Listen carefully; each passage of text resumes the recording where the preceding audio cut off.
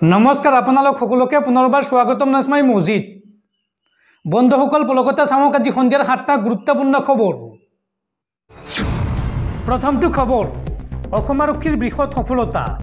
অসম আৰক্ষীয়ে অভিযান চলাই গ্ৰেপ্তাৰ কৰিবলৈ সক্ষম হৈছে নিষিদ্ধ ঘোষিত সংগঠন আই চিছৰ দুই শীৰ্ষ নেতাক। অসমত গ্ৰেপ্তাৰ কৰা হৈছে এই দুই সদস্যক।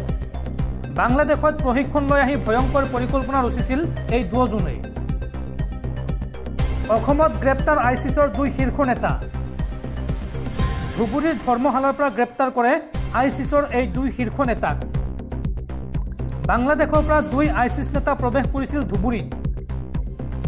আৰু বিশেষ সূত্ৰৰ খবৰৰ ভিত্তিত অসম আৰক্ষীৰ এছ টি এফ অসম আৰক্ষীৰ এছ টি এফ দলৰ অভিযান।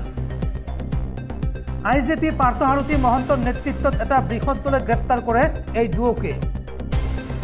এছ টি এফৰ জালত ডেৰাডুনৰ চাক্ৰাটাৰ হৰিছ আজমল ফাৰুকী আৰু অনুৰাগ সিং। ইছলাম ধৰ্ম গ্ৰহণ কৰা অনুৰাগ সিং দীৰ্ঘদিনীয়া আশ্ৰয় লৈ আছিল বাংলাদেশত। আৰু দুই আইচিছ নেতাৰ বিৰুদ্ধে এন আই এত ৰুজু হৈ আছিল গোচৰ। অসম আৰক্ষীয়ে এতিয়া এন আই এৰ হাতত চমজাই দিব এই দুই আইচিছ নেতাক। অসমকে ধৰি দেশৰ বিভিন্ন প্ৰান্তত কুটাঘাতৰ পৰিকল্পনা কৰি আছিল এই দুয়োৱে। আৰু সদস্য ভৰ্তি অভিযান চলোৱাৰ ব্লু প্ৰিণ্ট ৰচনা কৰা বুলি সন্দেহ কৰিছে অভিযানকাৰী আৰক্ষী অভিযানকাৰী আৰক্ষীৰ দলে। পৰৱৰ্তী খবৰ দুহেজাৰ চৌব্বিছৰ লোকসভা নিৰ্বাচনৰ পূৰ্বে ফ্ৰিজ কৰা হ'ল কংগ্ৰেছৰ বেংক একাউণ্ট। চাৰিটা বিভিন্ন বেংকত থকা কংগ্ৰেছৰ এঘাৰটা একাউণ্ট ফ্ৰিজ কৰিলে আয়কৰ বিভাগে। এই সন্দৰ্ভত বিস্ফোৰক অভিযোগ উত্থাপন কৰিছে কংগ্ৰেছ নেতৃত্বই। নিৰ্বাচনৰ পূৰ্বে ফ্ৰিজ কৰা হ'ল কংগ্ৰেছৰ বেংক একাউণ্ট। চাৰিটা বিভিন্ন বেংকত থকা কংগ্ৰেছৰ এঘাৰটা একাউণ্ট ফ্ৰিজ কৰিলে আয়কৰ বিভাগে। এমাহ পূৰ্বে কংগ্ৰেছৰ একাউণ্ট ফ্ৰিজ আয়কৰ বিভাগৰ। এই সন্দৰ্ভত সংবাদমেল সম্বোধন কৰি ক্ষোভ প্ৰকাশ কৰে কংগ্ৰেছ নেতৃত্বই। সংবাদমেলত উপস্থিত থাকে কংগ্ৰেছ নেত্ৰী ছোনিয়া গান্ধী কংগ্ৰেছৰ যুৱৰাজ ৰাহুল গান্ধী কংগ্ৰেছৰ ৰাষ্ট্ৰীয় অধ্যক্ষ মল্লিকাৰ্জুন খাৰ্গে লগতে অজয় মাকেন আৰু জয়ৰাম ৰমেশ। বিজেপিয়ে ইলেক্ট্ৰল বণ্ডৰ পৰা টকা সংগ্ৰহ কৰাৰ বিপৰীতে কংগ্ৰেছৰ বেংক একাউণ্ট ফ্ৰিজ কৰিছে। এই বিস্ফোৰক অভিযোগ উত্থাপন কৰিছে কংগ্ৰেছে। সংবাদমেলত কংগ্ৰেছ সভাপতি মল্লিকাৰ্জুন খাৰ্গেৰ ক্ষোভ প্ৰকাশ সীতাৰাম কেঁচুৰীৰ দিনৰ কথা উল্লেখ কৰি আয়কৰ বিভাগে একাউণ্ট ফ্ৰিজ কৰিছে বুলি অভিযোগ উত্থাপন কংগ্ৰেছৰ। নিৰ্বাচনৰ পূৰ্বে নিজৰ জমা টকা ব্যৱহাৰ কৰিব পৰা নাই কংগ্ৰেছ দলে। আয়কৰ বিভাগৰ এনে কাৰ্যই গণতন্ত্ৰক ধ্বংস কৰিছে বুলি উল্লেখ কৰে এ আই চি চিৰ কোষাধ্যক্ষ অজয় মাকেনে।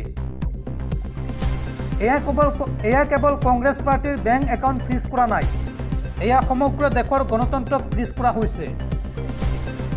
সংবাদমেলত কংগ্ৰেছৰ বেংক একাউণ্ট ফ্ৰিজ কৰা সন্দৰ্ভত এই মন্তব্য কংগ্ৰেছ নেতা ৰাহুল গান্ধীৰ।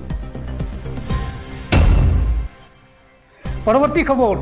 বিগত দুদিন ধৰি ৰাজ্যত অব্যাহত আছে নেৰানেপেৰা বৰষুণ আৰু তাৰ মাজতে ভাৰতীয় বতৰ বিজ্ঞান কেন্দ্ৰৰ আগজাননী। আগন্তুক তিনিদিনত ৰাজ্যত হ'ব ধাৰাসাৰ বৰষুণৰ লগতে ধুমুহা আৰু বজ্ৰপাত। এই সন্দৰ্ভত ৰাজ্যৰ ত্ৰিছখন জিলাত বতৰ বিজ্ঞান কেন্দ্ৰই জাৰি কৰিছে এলাৰ্ট। অসমৰ কোন কোন জিলাত হ'ব বৰষুণ চাওঁ আহক। আগন্তুক তিনিদিনত ৰাজ্যত হ'ব ধাৰাসাৰ বৰষুণ। এই সন্দৰ্ভত ৰাজ্যৰ ত্ৰিছখন জিলাত বতৰ বিজ্ঞান কেন্দ্ৰৰ য়েল্ল' এলাৰ্ট জাৰি। মুখুলধাৰ বৰষুণৰ লগতে ধুমুহা বজ্ৰপাত আৰু শিলাবৃষ্টিৰ আশংকা প্ৰকাশ কৰিছে বতৰ বিজ্ঞান কেন্দ্ৰই। কোন কোন জিলাত বৰষুণ হ'ব চাওঁ আহক। দক্ষিণ চালমাৰা ধুবুৰী কোকৰাঝাৰ চিৰাং বঙাইগাঁও গোৱালপাৰা বৰপেটা কামৰূপ কামৰূপ মেট্ৰ নলবাৰী বাক্সা ওদালগুৰি ডিমা হাছাও কৰিমগঞ্জ হাইলাকান্দি লখিমপুৰ ধেমাজি চৰাইদেউত হ'ব বৰষুণ। লগতে দৰং মৰিগাঁও নগাঁও হোজাই কাছাৰ শোণিতপুৰ পূব কাৰ্বি আংলং এই জিলাসমূহতো বৰষুণ হ'ব। আৰু লগতে গোলাঘাট শিৱসাগৰ তিনিচুকীয়া ডিব্ৰুগড়ত হ'ব ধাৰাসাৰ বৰষুণ। অহা চৌব্বিছ মাৰ্চলৈকে এই জিলাসমূহত বৰষুণ হোৱাৰ সম্ভাৱনা আছে। এই কথা প্ৰকাশ কৰিছে ভাৰতীয় বতৰ বিজ্ঞান কেন্দ্ৰই। বন্ধুসকল তাৰপিছত চাৰি নম্বৰ খবৰটো। জনোৱাৰ আগতে আপোনালৈ এটা সৰু ৰিকুৱেষ্ট যদি তেওঁলোকে এইটো ভিডিঅ'ত লাইক কৰা নাই তেন্তে প্লিজ এটা লাইক কৰি দিয়ক। আৰু এনেকুৱা ধৰণৰ নতুন নতুন ভিডিঅ' পাবলৈ চেনেলটো ছাবস্ক্ৰাইব কৰি কাষত থকা বেলাইকনটো প্ৰেছ কৰি ৰাখক। পৰৱৰ্তী খবৰ বেংকত একাউণ্ট থকা সকলৰ বাবে জৰুৰী খবৰ। অহা একত্ৰিছ মাৰ্চ অৰ্থাৎ দেওবাৰে খোলা থাকিব দেশৰ সকলো বেংক। দেশৰ সকলো বেংক দেওবাৰে খোলা ৰাখিবলৈ কঠোৰ নিৰ্দেশনা জাৰি কৰিছে ৰিজাৰ্ভ বেংক অৱ ইণ্ডিয়াই। দেওবাৰে দেশৰ সকলো বেংক খুলিবলৈ নিৰ্দেশ জাৰি কৰিছে ৰিজাৰ্ভ বেংক অৱ ইণ্ডিয়াই। ৰিজাৰ্ভ বেংক অৱ ইণ্ডিয়াই এই সন্দৰ্ভত জাৰি কৰিলে বিশেষ জাননী। একত্ৰিছ মাৰ্চ অৰ্থাৎ দেওবাৰে দেশৰ বেংকসমূহ খোলা থাকিব লাগিব। সকলো বেংক খুলিবলৈ নিৰ্দেশ জাৰি কৰিছে ৰিজাৰ্ভ বেংকে ৰিজাৰ্ভ বেংক অৱ ইণ্ডিয়াই জাৰি কৰিলে এই জাননী। দেওবাৰ অৰ্থাৎ একত্ৰিছ মাৰ্চ চলিত বিত্তীয় বৰ্ষৰ অন্তি অন্তিমটো দিন। আৰু এই দিনটোত যথেষ্ট লেনদেন হয় বেংকত। দেওবাৰ হোৱাৰ বাবে বেংক খোলা ৰাখিবলৈ বিশেষ নিৰ্দেশ জাৰি কৰিছে ৰিজাৰ্ভ বেংকে। বেংক কৰ্তৃপক্ষৰ বেংকৰ সকলো শাখা খোলা ৰাখিবলৈ নিৰ্দেশ দিছে ৰিজাৰ্ভ বেংকে। পৰৱৰ্তী খবৰ এইবাৰ নিৰ্বাচন আয়োগৰ ৰোষত পৰিছে কেন্দ্ৰীয় চৰকাৰ। কেন্দ্ৰীয় চৰকাৰলৈ কঠোৰ নিৰ্দেশ নিৰ্বাচন আয়োগৰ। বন্ধ কৰক বিকশিত ভাৰতৰ বাৰ্তা। এই কঠোৰ নিৰ্দেশনা ভাৰতীয় নিৰ্বাচন আয়োগৰ। আপোনাৰ হোৱাটছএপলৈ আহিছে নেকি নৰেন্দ্ৰ মোদী চৰকাৰৰ বিকশিত ভাৰতৰ বাৰ্তা? দেশৰ প্ৰায়বোৰ ব্যক্তিৰ হোৱাটছএপলৈ নৰেন্দ্ৰ মোদী চৰকাৰে প্ৰেৰণ কৰিছিল বিকশিত ভাৰতৰ বাৰ্তা। কিন্তু মোদী চৰকাৰক এই বিকশিত ভাৰতৰ বাৰ্তা ব্যক্তিৰ হোৱাটছএপে হোৱাটছএপে প্ৰেৰণ কৰাটো বন্ধ কৰিবলৈ নিৰ্দেশ প্ৰদান কৰিছে নিৰ্বাচন আয়োগে। নিৰ্বাচনৰ আচৰণবিধি কাৰ্যকৰী হৈ থকাৰ সময়তে এনে বাৰ্তা যাতে ব্যক্তিৰ হোৱাটছএপলৈ আৰু পঠিওৱা নহয় তাক নিশ্চিত কৰাৰ নিৰ্দেশ প্ৰদান কৰা হৈছে।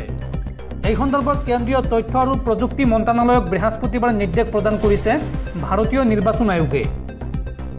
উল্লেখযোগ্য যে নৰেন্দ্ৰ মোদী চৰকাৰে জনসাধাৰণৰ হোৱাটছএপত প্ৰেৰণ কৰা এই বাৰ্তাক লৈ তৃণমূল কংগ্ৰেছকে ধৰি কেইবাটাও বিৰোধী দল সৰব হৈ পৰিছিল আৰু ইয়াৰ পিছতে নিৰ্বাচন আয়োগে এই কঠোৰ পদক্ষেপ গ্ৰহণ কৰিছে।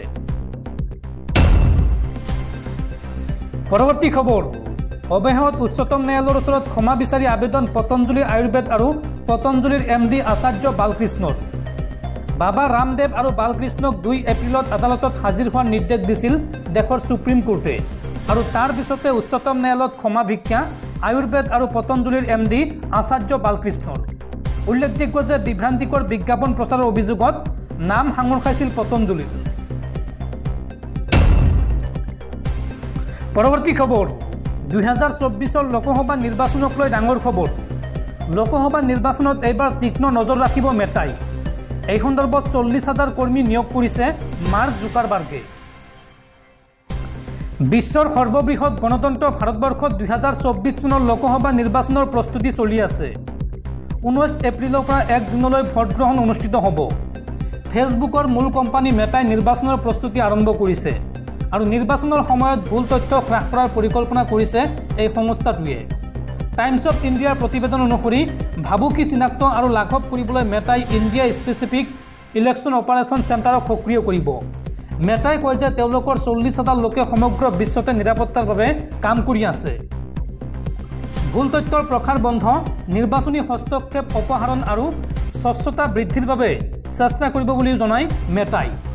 ইয়াৰ দ্বাৰা মুক্ত আৰু নিকা নিৰ্বাচন অনুষ্ঠিত কৰাত সহায়ক হ'ব। এই মন্ত এই মন্তব্য মেটাৰ।